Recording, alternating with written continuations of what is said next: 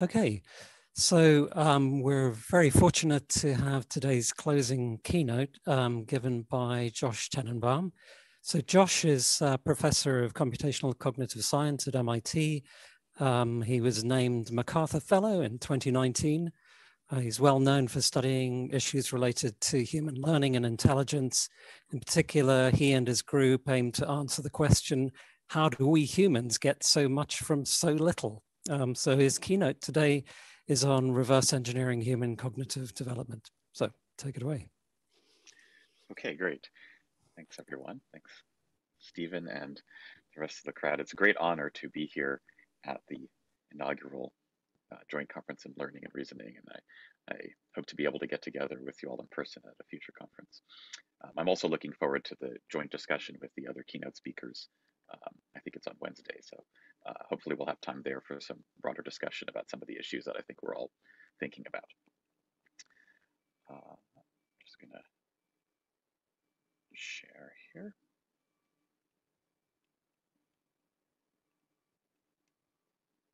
All right. So I'm going to be talking about reverse engineering human intelligence with a focus, as Stephen said, on cognitive development and trying to address the fundamental question that I think cognitive scientists, as well as AI researchers, going back to the beginning of the field, have been interested in, which is what do we start with and how do we learn the rest? Now, the starting point for the work that I do that's really, as Stephen said, kind of between cognitive science and AI, trying to reverse engineer human intelligence and use our insights to engineer more human-like forms of AI, like many people, I think, in, in this uh, community, is to look at the gap between what we have today in AI and what we would like to have. And I think, you know, many people would, would put this in different ways, but I think we would all agree that what we have in AI right now is some very useful technology, but nothing like real or true artificial intelligence in the sense of the founders of the field, what they had in mind. That is, we have really useful machine systems that can do things we used to think only humans can do. But we have nothing like a general purpose, flexible intelligence, and nothing like a kind of common sense that each and every one of us as human beings can use to do every one of these things for ourselves without having to be built by a dedicated team of engineers with the world's uh, greatest tech companies investing huge resources as every one of these AI technologies um, has been uh, the product of. So what is the gap? What is the difference between the AI we have now and what we would like to have? And of course, I think there's many things, but um, I think, uh, again, like many people in uh, at this conference and in this community, I think we're realizing that what's been driving the recent successes in, in AI technology are advances in pattern recognition and function approximation, most recently as embodied in various kinds of deep neural networks, but really the long history of success in machine learning, which is clearly a success in recognizing patterns in big data sets and approximating arbitrary functions. And those are important parts most likely, of human intelligence. But human intelligence also goes beyond that in so many ways. And what I've been focusing on in, in my work and with my colleagues are all the ways that our minds model the world and intelligence as modeling and inference. So that means not just recognizing patterns in data, but really explaining and understanding what we see. Or our ability to imagine things that we could see but haven't yet, maybe things that nobody's ever seen. But then we can make those things we imagine goals and plan actions to make those things real and solve the problems that come up along the way. Or from this standpoint, learning means building new models. That means learning from both our uh, our successes as well as our failures. And learning can be learning from the data of our experience, but also learning from others by sharing our models so that we can grow knowledge socially and culturally through language and other means of communication.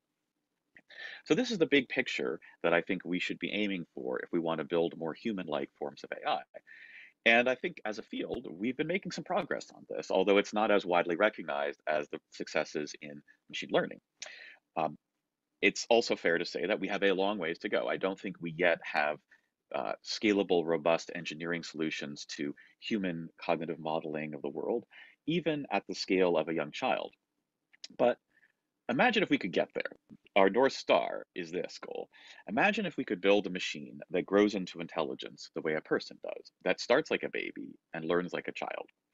This may not be our only route to achieving uh, human like general intelligence, but it could be our best bet because if we think about it, it's the only example we have in the known universe of a system that does reliably grow into human intelligence starting from much less, reliably, robustly. It's, it's our one example.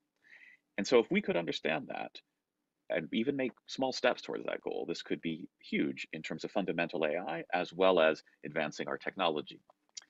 Now, of course, you know, this is an old idea. It's it's it's been one that's been advocated and explored and even embraced by many of the founders of the field, as well as many other AI researchers recently.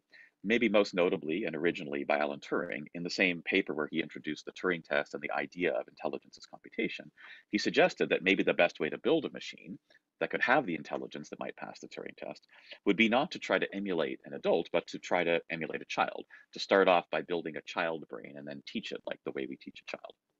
Why do this? Well, as Turing said, presumably the child's brain is simpler. It's an easier thing to do. Maybe the child's brain is something like a notebook as one buys it from the stationers, rather little mechanism and lots of blank sheets.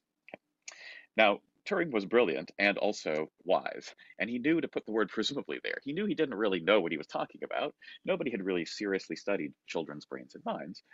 Presumably, as many people thought, um, maybe we, as human learners, we start off as something like a blank slate, right? It's a classic idea in philosophy, as well as one that has been explored in earlier generations of psychology. But what we now know, based on insights of studying actual human babies and children is that it's not right. That both the starting state and the learning procedures for human learning are much more sophisticated than I think Turing was presuming here. Right? That is, we don't start off as blank stars, blank slates.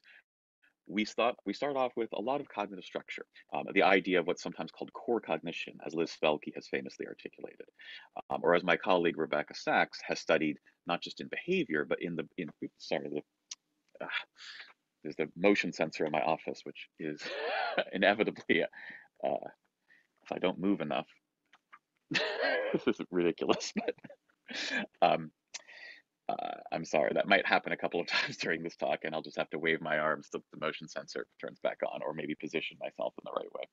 Um, I was saying, as Rebecca Saxe, uh, my colleague here at MIT, has studied, um, you can see even in the brains of three-month-old babies the beginnings of the kinds of behavior that Spelke has studied in two and three month old babies, showing that quite a lot of basic common sense in some ways is built in. And learning isn't just copying down data, but much more active forms of hypothesis formation and testing, forming intuitive theories, and exploring the world with something like kind of intuitive versions of scientific experiments to build our models beyond their initial starting state. So Alison Gopnik has famously articulated this child as scientist view. My colleague here at MIT, Laura Schulz, has especially explored these kinds of um, exploratory learning mechanisms that that are that children that make children's play look like a kind of informal scientific experimentation. And what we've been trying to do in our group is to capture these kinds of uh, knowledge representations and learning procedures in computational terms that could be used to both understand where, where human cognition comes from and to follow this kind of developmental scaling route to building more human-like AI. So in particular, we start with this idea of core cognition, the kinds of things that even a young baby can do that no AI system can do, such as intuitive physics and intuitive psychology. By intuitive physics, we mean the kind of thing that you see in this one and a half year old here, playing with blocks, stacking up cups, the ability to understand these objects as, as physical things in the three-dimensional world, um, to conceive of goals like stacking up a, a, number of them in a stable fashion, and then to make the plans and debug those plans, as you can see here, uh, in order to make uh, some awesome creation. We don't. We have robots that, that can manipulate objects in impressive ways, but we don't have a robot that can do anything like this in terms of the robustness of perception, planning, goal creation, uh, not to mention just the physical hand manipulation that you can see here. But it's, I don't think it's out of the question that um, with the kind of research program that we're pursuing together with roboticists, that we could build something like that.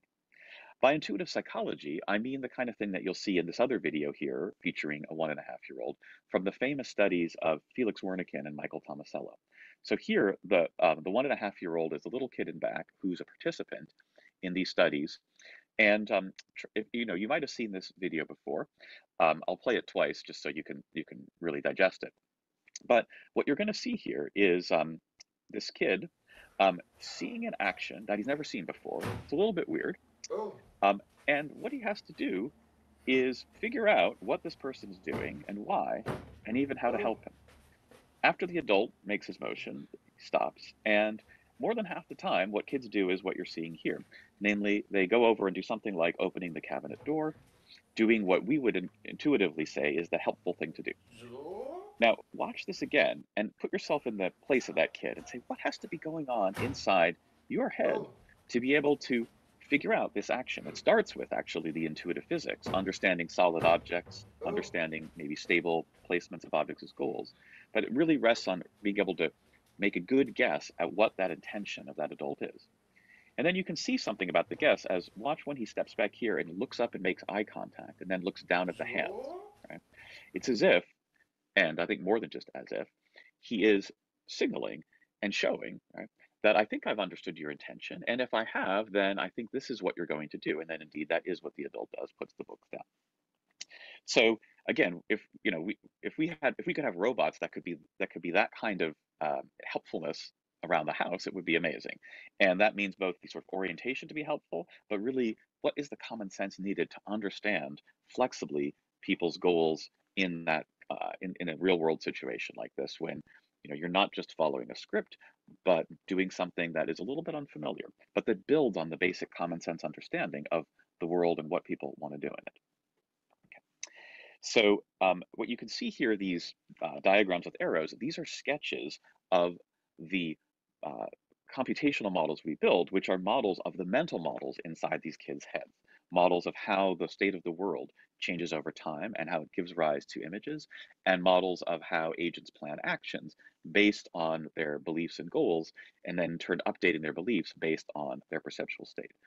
This the picture on the right might look like a picture of how the human mind works and maybe it is. Many cognitive scientists believe something like this is basically the right way to think about uh, human um, action.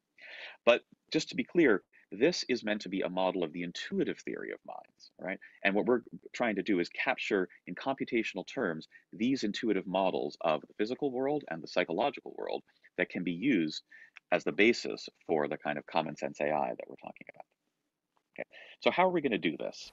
Well, there's a few technical foundations for the work that we do. Um, one is the idea, which again I think is very much in the spirit of many of uh, the, the uh, contributions in this conference, is to think about how can we combine the best ideas from multiple eras of AI. That means not just machine learning, whether it's neural networks or other tools for pattern recognition and function approximation, but what is surely the the uh, most original and best idea in how to think about intelligence computationally, which is the idea of intelligence as symbol manipulation and symbolic languages for abstract knowledge representation and reasoning. And then what I'd say is the third good idea that we've had, there, there's more than three, but these are at least three of the best ideas over the decades, is the idea of probabilistic inference, or especially Bayesian inference in some kind of uh, causally structured hierarchical generative model for reasoning about the unobserved causes of what we what we see from the sparse uncertain data that come in through our senses. And i think that if we um, build the tools the mathematics the engineering platforms and then models on top of those that let us combine the best features of symbols probabilities and neural networks or or any tools for generic function approximation and pattern recognition that is going to be much better than what we used to do in AI and cognitive science, which is fight about which of these is the right paradigm. But by recognizing their complementary strengths and then again building the tools that let us integrate them, that is going to be the foundation of actually making these models real. Now, there's different ways to do this, but with with my colleagues at MIT and others in the field, I've been uh, uh, especially interested in probabilistic programs and probabilistic programming as an integrative uh, framework for combining these ideas. And you know, this this isn't a talk in which I can go into the details on probabilistic programs and probabilistic programming, although it illustrates some of the things that we're doing with them. I'll just um, highlight that this there's many different probabilistic programming languages that um, have been developed under that name for um, somewhere between 15 and 20 years at this point. Um, in particular, we're especially interested in languages like Pyro or TensorFlow probability or GEN. Um, uh, Pyro was, was developed uh, at Uber AI Labs uh, by a team originally put together by Noah Goodman. Uh, TensorFlow probability is, is a uh, uh, probabilistic programming language developed inside Google um, by a team led by Rif. Uh, Gen is a language that was developed at MIT in Vikash Mansinghka's probabilistic computing group, uh, but developed by Marco Cusumano Towner and colleagues, but especially Marco as, as, the basis of his PhD thesis.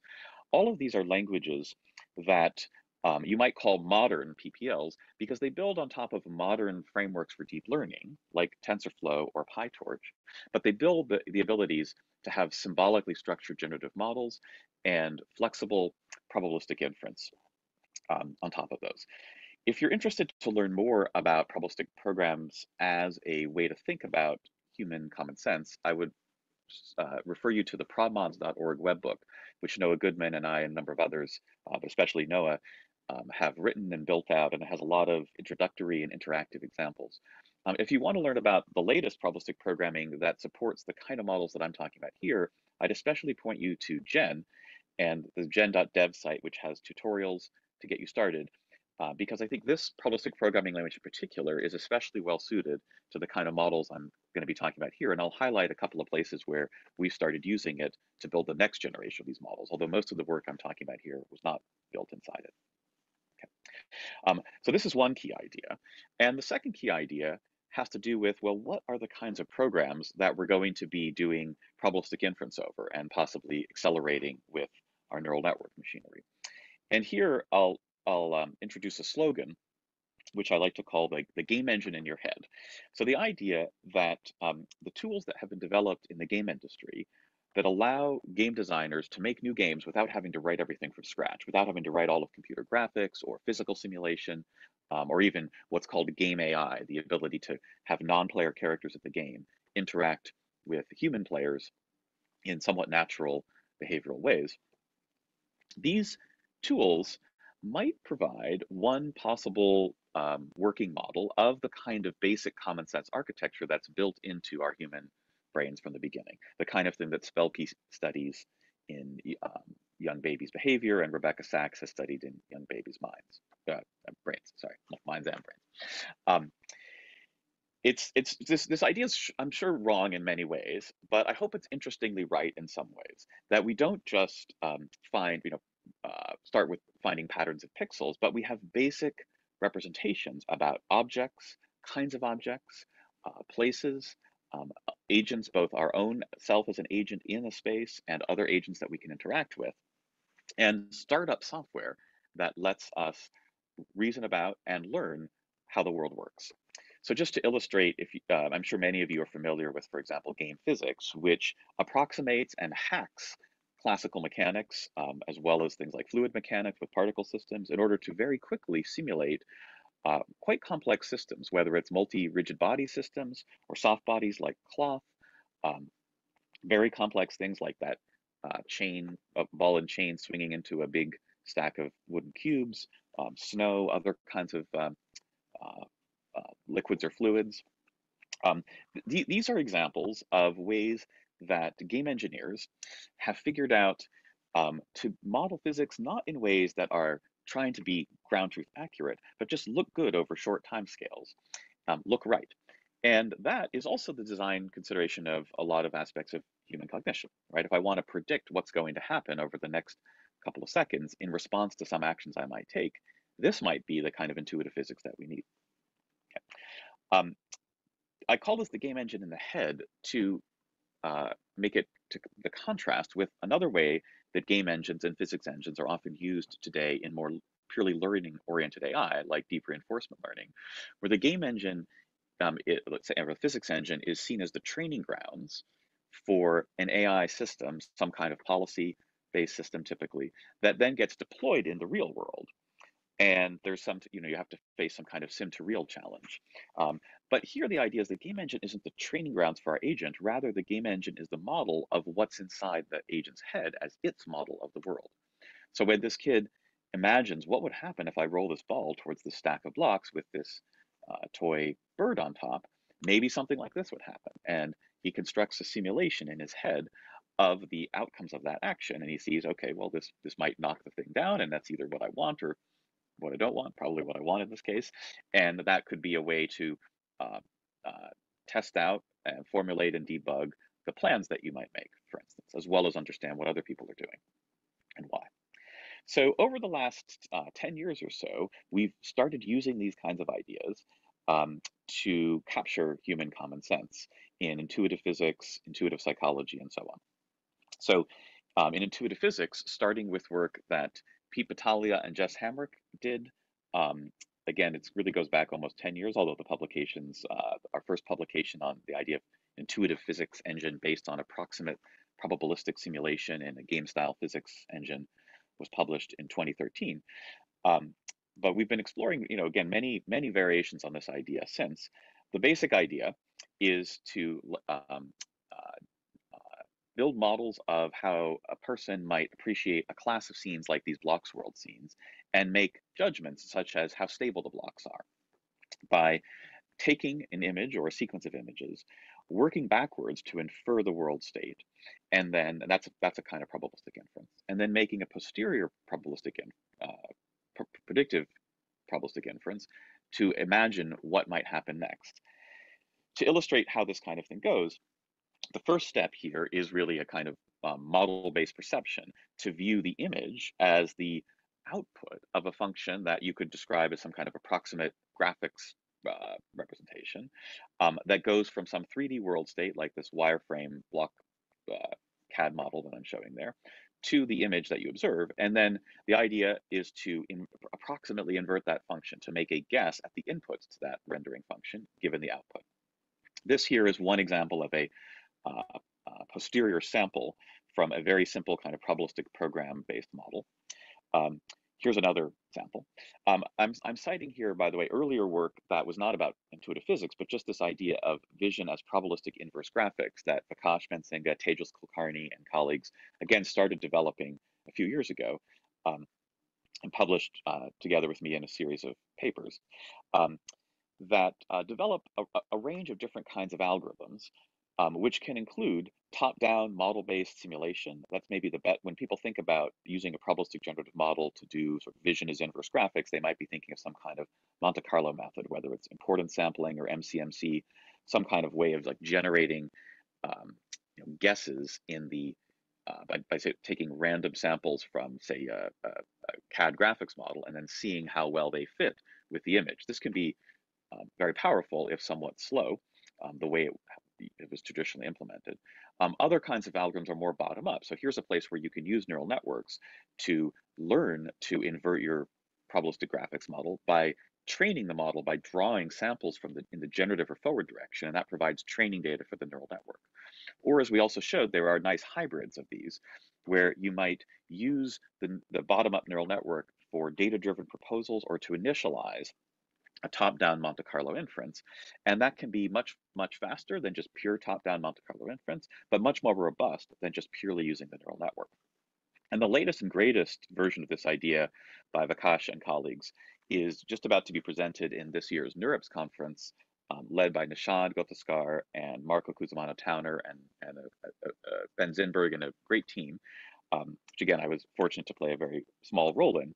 Uh, but this is a system called 3DP3, which takes as input um, real world data, both RGB and depth data. And it's really designed to try to take this idea into a practical applied robotics setting to infer um, a, a, scene graph, uh, which includes both objects, their six degree of freedom pose, also in sort of reconstructing a, a cleaned up depth map and the sort of uh, stable geometric and ultimately physical relations between objects. And you have a generative model that's written in this language GEN, this probabilistic programming language from uh, Marco and colleagues, which starts off by sort of sampling object types, their geometries, their scene graph relations, and all the way down to a synthetic depth map, which can then be compared with the observations in a combination of these learned bottom-up um, neural importance sampling type proposals, as well as MCMC fine tuning. And Gen um, automates, um, makes both robust and scalable uh, these two different kinds of inference routes. And the result is, is pretty impressive performance. Um, I'm admittedly, I'm a little bit biased, but you know, again, my role in this project was mostly to inspire the idea and guide it in just very indirect ways. Um, but what, what this team has done is to is to show that they can beat state of the art uh, deep learning based um, six degree of fr freedom uh, pose detection systems um, in both accuracy and robustness, and crucially with systems that are uncertainty aware. So they they know when they when the data they have might not be sufficient to localize where an object is. Um, so you know again this this is I'll, this is all i'm going to say about perception at this point but i think it's it's sort of the first building block of common sense is how do we get to a state of the world on which we can now start to do physical reasoning. And it nicely illustrates the ways that people are starting to combine uh, neural network pure learning based approaches with symbolic models like scene graphs in a unified framework for probabilistic inference now, the next step, once you have your guess of where the objects are in the world, is to imagine what might happen next. And here, the simple idea is just to run that scene state estimate forward through a few steps of your physics engine and just see what happens. So here's one illustration of that with the first hypothesis I showed you. And here's another one. Um, these two different guesses at the state of the world lead to different outcomes in the future. The precise state of the blocks after a few time steps are different, but at the grain of intuitive physics, it doesn't really matter, right? Whether it's this scene or this scene, most of the blocks have fallen over. So what our system does is it, it takes a few of those samples and computes the average number of blocks that fell. And in this case, it would say this is a very unstable scene because most of the blocks are falling over. So that's the basis for how we build these models and test them against human judgments.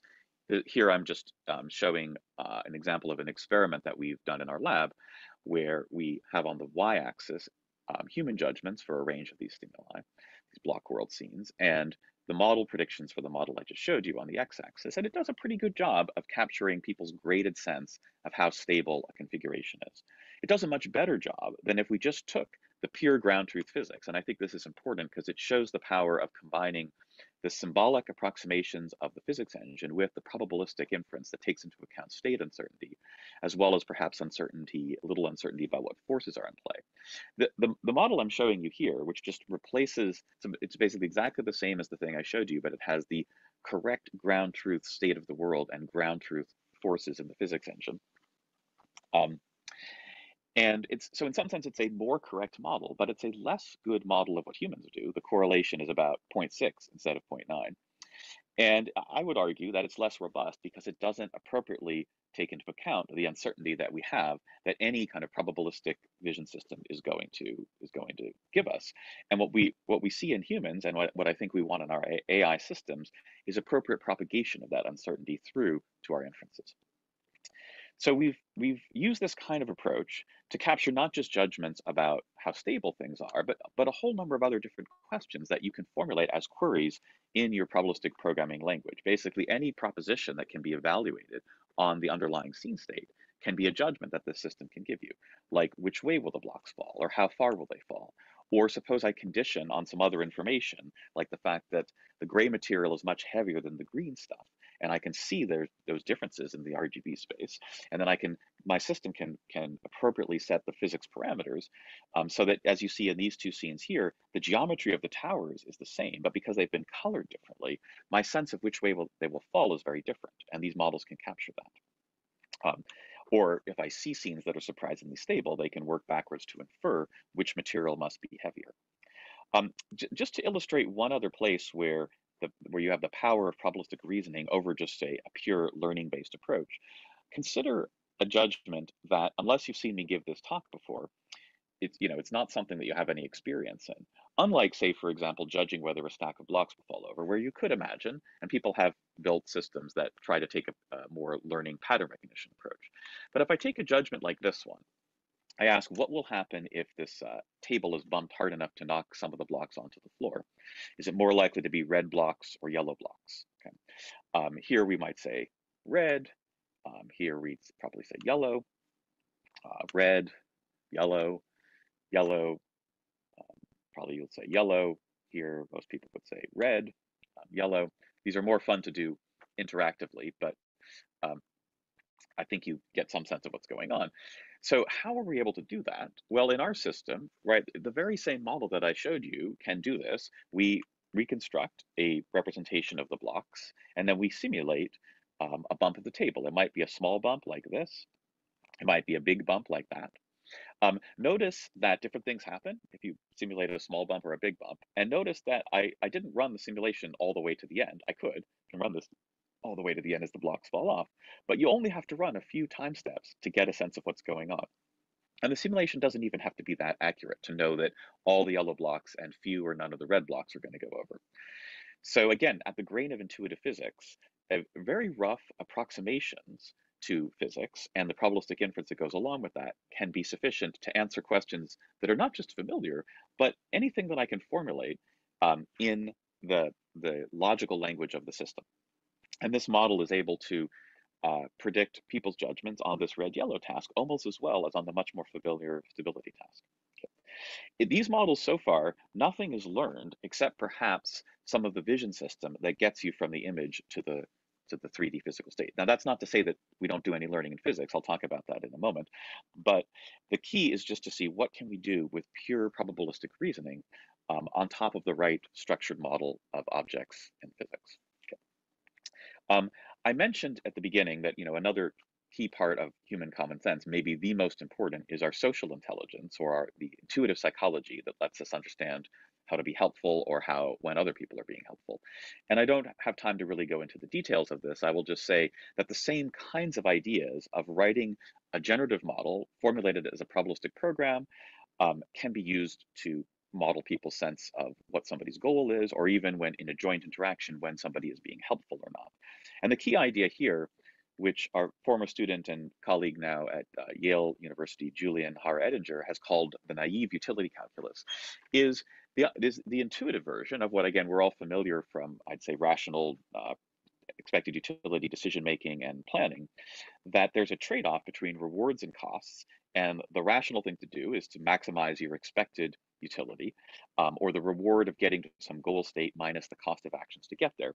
That simple versions of this idea um, can be the basis for models of how people, even young children, intuitively understand the actions that agents plan. And then we can we can embed those in a framework for probabilistic inference to work backwards to infer what are the likely goals that somebody might have. To take a scene like this, where somebody's reaching on the tabletop for an object and figure out which object she's reaching for. You can see that that dashed line that just went up there is the Bayesian posterior uh, over possible goal objects, where we've taken a robotics physics engine, the MuJoCo model, as a model of the costs of action, and then we're making a Bayesian inference over which object is providing the reward that would best explain the actions you see under the cost, the physical costs of action planning. Or we can make joint models of multiple agents planning processes where if we want to understand what it means for an agent to be helpful, even in a strange situation like this, like where somebody's reaching with a constraint and we see somebody else clearly helping them to achieve their goal, what makes that look like helping versus, say, a scene like the one on the bottom here look uh, not like helping, but say the opposite, sort of hindering or getting in the way? Well, we can build a model that says agents are helpful if they are trying to maximize some expected utility function that appears to be a positive function of another agent's expected utility, or vice versa, or a negative function if it's if it's hindering. And by doing inference in that joint agent model, we we we are at the beginnings at least of trying to understand what it is to understand each other in these cases. Um, so in the in the last part of the talk, I want to talk about where learning comes into the picture, at least learning more in terms of um, common sense. And again, I think we're going to see really interesting places here where symbolic approaches and the, the combination of symbolic, probabilistic, and neural approaches are letting us make steps, small steps, but I think important ones, towards the big picture vision that I started with. So, uh, you know, I, I think um, it's important to to point out I'm not, you know, the the the, the vision that I have here is not the only one that one could have. So there are a number of people who've been interested in intuitive physics, how babies represent and learn about objects, who, who've taken more of that approach that I think Turing advocated, the more sort of blank slate end-to-end learning approach. That is one possibility that the, the systems that I've talked about effectively are the targets for learning. You start not having them. You start just having some kind of generic neural architecture and you learn them from experience. So for example, um, Dan Yamins at Stanford in some earlier work with Nick Haber and colleagues has pursued some versions of this idea with a kind of curiosity-driven self-supervised learner that acquires some aspects of object-based perception and attention, also inspired by the idea of what babies know. But I think it's fair to say, and I think um, Dan and colleagues would agree with this, at this point, um, that this this system probably is not the way babies actually do it. That it doesn't build in enough structure and it learns way too slowly. So the approach that that we're following is to think about what happens if you start off with some kind of a game engine or maybe a proto game engine. A game engine itself has many degrees of freedom and and you could there could be a lot more or a lot less built in. But something like that kind of common sense system. And then learning comes in in all these different ways. Learning can come on top of the game engine. That's something that we might see more in adults. Learning can happen inside the game engine to learn aspects of the physics, or maybe even learning um, key foundational parts of the game engine itself. And then this whole uh, framework can be used as the foundation to learn things that go beyond what the what the game engine or core cognition model is able to capture. So just as a, as a sort of quick survey of some of the recent work that we've been doing, looking at all these other ways that, or all these ways that learning can come into the picture. Um, one thing is to take, is to start off with the intuitive physics models that we were studying, these probabilistic approximate simulation models, and say, well, how can we learn to do, to solve problems using these? Because again, if we're thinking about human intelligence, um, one of our core abilities is problem solving and and um, making or repurposing objects to solve the problems that stand in the way of achieving our goals. So for instance, let's say you've gone out camping and as you're setting up your tent, you realize that you forgot to take the hammer that you normally use to pound in your tent stakes. So you look around for some other object that you can use as part of a plan to achieve that same goal. You might find these objects out of the woods. Um, you might quickly rule out um, one or two of these as not suitable to your goals um, that and focus in on the hard stones um, and but there you also may quickly realize that some of these have the right kind of affordances or physical properties. Um, this one for example uh, you might try pounding it in and you're not getting enough leverage so you switch to uh, oops, uh, you switch to something like this longer flatter stone which gives you more of the uh, hammering ability that you want. So to study this um, we've uh, uh, been studying studying sort of flexible problem solving and tool use in something called the virtual tools game. Um, I realize this slide is actually a little bit out of date because this, this paper has already appeared in PNAS. Um, it's the thesis work of Kelsey, Kelsey Allen, who's now at uh, a research scientist at DeepMind, um, along with uh, Kevin Smith, who's a research scientist in our lab, and they're joint first authors of this work. And um, what you can see here is um, just a, a small sample of different levels in this game, where the goal is always to get the red ball into the green region and have it stay there stably for a couple of seconds. And you do this by choosing an object, a tool, from the palette on the right and dropping it into the scene. Blue objects are things that can move along with the red object. Black objects are, are fixed. And you can see that depending on the setup and the tools available, there are a wide range of different kinds of things you could do to achieve your goal, from knocking something over, blocking a preventing object in the, in the upper left here, um, catapulting something like here, uh, putting an object stably under this table, uh, using uh, objects here like um, trying to sort of lever or hook something around. There's many different things that that people can do. And what we what we find in this game is that people are not, you know, this isn't something you can usually do the first time you try, but within just a small number of um, attempts, people can often figure out how to solve these problems. We like to call this the real trial and error learning, unlike, say, what people have often talked about in reinforcement learning, um, where there's sort of a loose analogy to how animals or humans might learn from, quote, trial and error. Real trial and error, and I think real reinforcement learning in humans at least, is more like this. It's not something that takes um, hundreds of thousands or millions of trials, but just a small number, you know, five, ten, um, 15. So how do we do this? Well, we take one of these um, approximate probabilistic simulation models of intuitive physics, and that's that becomes the um, sort of inner loop of a learning and thinking system that starts off with some kind of basic scene priors of choosing an object and choosing an initial location based on just trying to make something happen, just trying to make contact with movable objects. And then you imagine a few possible um, actions like that, run those through your mental simulator, see what happens. If one of them seems like it's going to solve the problem, then you try it out in the world. Um, if it doesn't solve, if you can't come up with one, then you basically try try to choose a different tool and try again. If you try when you try it out in the world, if it doesn't work, you use what you've learned to update your initial prior, and then you just repeat the whole loop. And what we've we've shown, we've studied human problem solving on a range of these levels, and we've shown that the model does a pretty good job, at least on the basic levels, of capturing the human trial and error learning curves. What you're seeing here in these graphs for 20 levels are the, the cumulative probability that humans in blue or the model in red um, solve a problem after uh, some number of trials, up to 20 trials. Some problems are solved reliably within the first two trials, others might take five or 10 or more. But the model does a pretty good job of capturing human difficulty and even the actual choices that humans make when they're at the initial stage or the final stages of solving a problem. But it doesn't actually get at the most interesting kinds of learning. And for this, we need to get more symbolic. So if we want to think about what is a tool, it's really like a kind of object-centric abstract strategy for how to achieve something. Like what is a whisk or what is a hammer or what is a catapult, right? A catapult could be many things like these catapults for sending someone into a river um, or this uh, fun pandemic make it at home project um, out of a wooden spoon, a roll of toilet paper, uh, catapulting a, a um, rolled up piece of paper into the trash bin.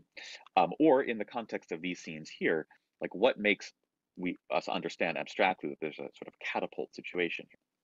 Well, we can study in the game. I'm not going to go through the experimental details, but Kelsey and Kevin showed that people can learn these strategies across a couple of examples and then transfer them in near and far ways. And we can capture this strategy learning by basically just replacing that initial prior with a symbolic program that's generated from a probabilistic grammar that talks about objects their, their basic types, properties, and relations that can be used to encode simple versions of, for example, a catapulting strategy.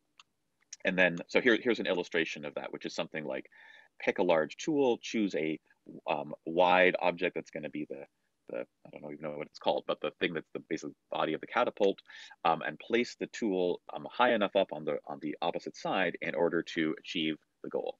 And this can generalize to a number of different scenes, not just the particular one shown here, but all the different ones where people seem to be able to deploy that catapulting strategy. Uh, another kind of learning is like learning the parameters of the of the physics engine. So seeing just a small number of um, or, or, short videos of objects um, moving with some unexpected kinds of physical laws or different properties of mass or friction, people can make judgments from just a five second video about the mass or the friction or which objects attract or repel each other. They're not perfect.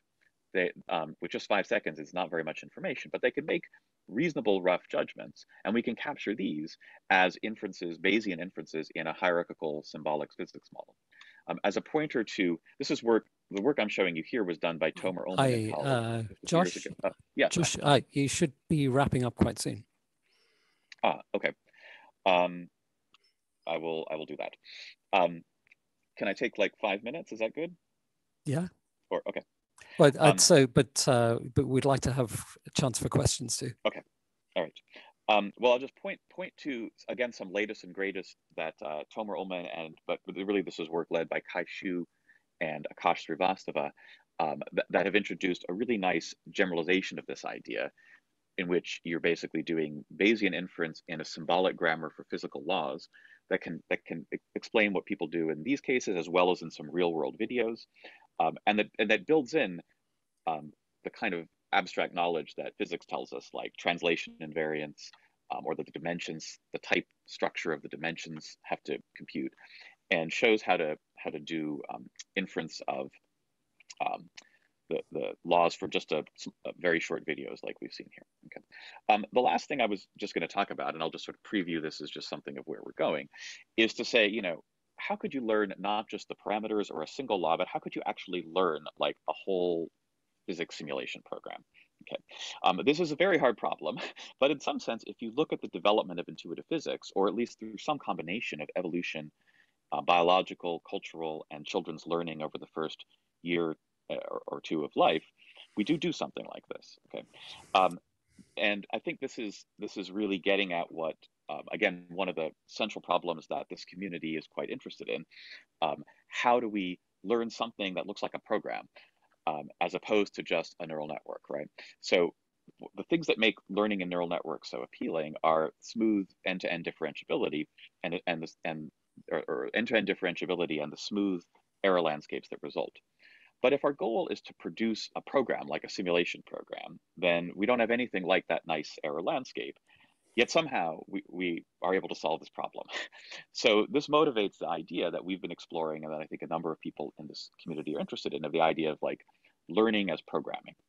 Um, again, since I, I don't really have much time, I'll just point you to a cognitive science opinion piece that Josh Rule, Steve Piantadosi, and I wrote, in which we sort of explore the general ideas, not just in the context of learning intuitive physics, but this idea of modeling human cognitive development as you know programming or, or in the in the sort of MIT spirit of creative programming as as hacking, sort of all the ways in which we can think about our intuitive knowledge as code and learning as making your code more awesome. Um, and it's a nice review of how that idea might play out in human cognitive development. On the AI side, we've been exploring this in the context of systems that learn not just single chunks of code like a physical force law, but learn in a sense, an entire domain specific programming language. And here again, I'll just point to, because I don't really have time to go through the details, a system that was the PhD work of Kevin Ellis with a number of other colleagues. Um, Kevin recently graduated from MIT and he's just started up as an assistant professor at Cornell in computer science. And he built a, a really cool system that's called Dreamcoder, which can learn can, can learn in a number of different domains, including physics, but also other kinds of symbolic or graphics domains, um, to solve problems where there's an ensemble of problems that characterize a domain, and the system will solve each problem by writing a little chunk of code. But it starts off with a very primitive, minimal uh, programming language, and over time, um, through a kind of a what's what's a what's effectively a kind of a wake sleep learning algorithm, learns to grow out its domain specific language to capture the domain expertise um, that a person might build in one of these domains. But it also learns um, uh, in, a, in a different kind of sleep phase, um, a, a through a through a kind of the same sort of method that I was saying was used to train those neural networks for pattern recognition in um, bottom-up uh, inverse graphics by drawing by by drawing samples of kind of imaginary problems and using those to train a pattern recognition system that can look at the data and um, generate hypotheses that can guide the search for symbolic programs. The system jointly trains its domain-specific language or its conceptual vocabulary along with a, a pattern recognition system for guiding the search. And the result is, is does some, again, I think very sort of human-like kinds of things, or at least takes a step in that direction. So like in a, in a, in a graphical domain of like building towers or drawing things, maybe this is the easiest way to illustrate it. Um, we might start off with a with a logo like drawing language, a very minimal thing that just says put your pen down, pick it up, go forward, turn, and then you know also like recursive functions, so lambda calculus, out of which we're going to build everything else. And over time, we we learn to be able to solve, make more complex drawings by building up functions such as these, these basic drawing routines, semicircles, spirals, polygons, and higher order functions that take those basic ones and say array them in a radially symmetric way. We're learning basically a kind of deep library of programming routines that capture our expertise and let us express complex things with short programs. And you can see here um, maybe the, the, the, nicest way to visualize what the system is doing is what are the problems it makes up during its dreams that it uses to train the neural search guidance at the beginning of learning, when it only has that minimal logo language, it doesn't really know how to do anything interesting. So its random programs are not are these very simple um, arcs and so on. But after it's learned at this this language of drawing primitives, now when it makes up random problems to solve, you see all this rich but somewhat random structure. So this is just an illustration of how you can make a more sort of developmental bootstrapping approach to building a language of thought, whether it's in this case a language for drawing, or we can apply the same kinds of things to learning a language for physics. And going forward, and this is where I'll where I'll leave us. I think this provides the basis for getting beyond that core knowledge state, beyond the intuitive physics and so on that a young child has and focuses on in their first year or two of life, to what are the main accomplishments of cognitive development over the next few years and beyond. It's, it's learning natural language and other kinds of explicitly shareable symbolic codes that ground out on top of the basic intuitive physics, but then let you access all the knowledge that's built culturally across generations. So what, what the recent the most recent work that we've been doing when it comes to program learning are various ways of leveraging natural language in the search for programs. Um, such as, for example, work Kathy Wong just presented at the last ICML on ways of basically integrating language into that uh, Dreamcoder DSL learning framework. Okay, so that's that's it, and this is where I'll where I'll leave us. Um, I've tried to show you what hopefully is a roadmap for building some kind of common sense that might follow the roadmap of, of human cognition um, and you know not just achieve what i would say ai's oldest dream but really help us understand where our own minds come from um, tools for capturing what might be the starting state in terms of these basic kind of game engine representations of objects and agents and forces and utilities for planning and then this whole neurosymbolic probabilistic modeling and inference toolkit that can be embodied in modern probabilistic programming languages and these tools for program induction and synthesis that can help us to both do inference in the original state and show us how we might be able to learn grow beyond that. Okay, so I'll stop Great. with that and thank you very much for your guys' attention.